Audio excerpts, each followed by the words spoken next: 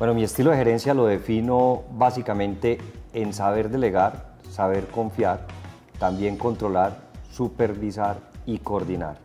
Y muy importante, elegir un muy buen equipo de gobierno que pueda entregar los mejores resultados, personas idóneas para cada cargo.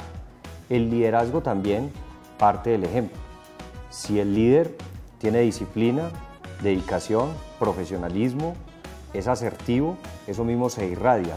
Pero lo más importante es un gobierno humano, un gobierno que sepa que se atienden personas, que las personas tienen dificultades y se acercan al gobierno a buscar las soluciones. Y lo que hemos hecho es un gobierno de puertas abiertas, donde el ciudadano ha sentido que la alcaldía es de ellos y no del gobierno de turno. Juntos sumamos por Envigado.